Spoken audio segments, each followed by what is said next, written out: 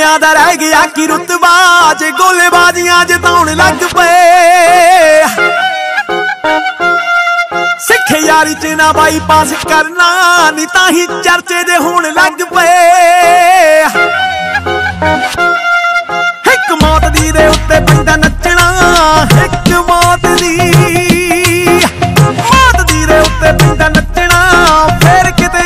ਬੰਦਿਆਂ